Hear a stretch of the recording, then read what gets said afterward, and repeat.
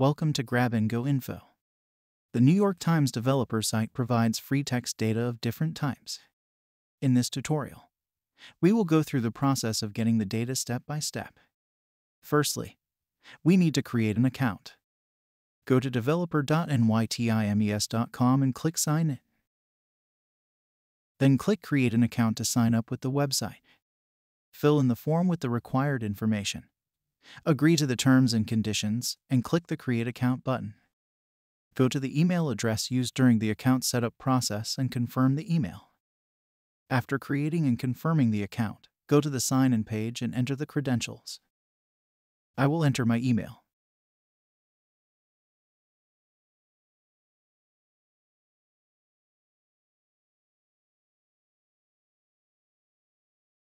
and the password, then click Sign In.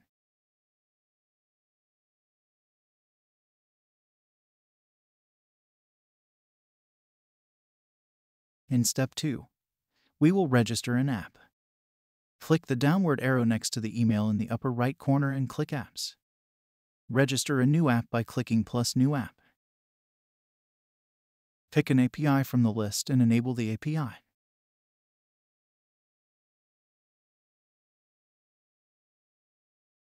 The status will change to Save to Enable. Give the app a name and description and click Save.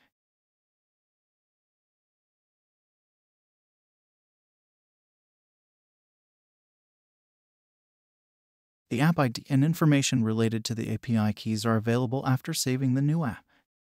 If you find the information helpful so far, please click the like button and subscribe to the channel. Click APIs in the menu and choose the API for the app created in step 2.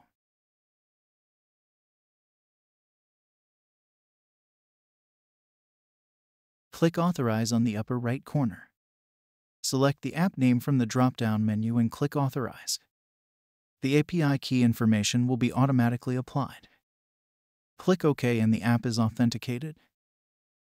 Click the Emailed JSON under Paths on the left-hand side to get the most emailed articles on nytimes.com. Enter the number of days for the New York Times articles on the right-hand side and click Execute. You will get the data for the specified time period. The execution returns 200 OK on a green bar and all the retrieved data are below the green bar. If you found the information in this tutorial helpful, please click the like button and subscribe to the channel. I publish tutorials on machine learning, deep learning, and big data processing every week. If you prefer the written version of the tutorial, please go to grabngoinfo.com. I will put the link in the video description. This is the blog post for this tutorial. It has all the screenshots and explanations in the video.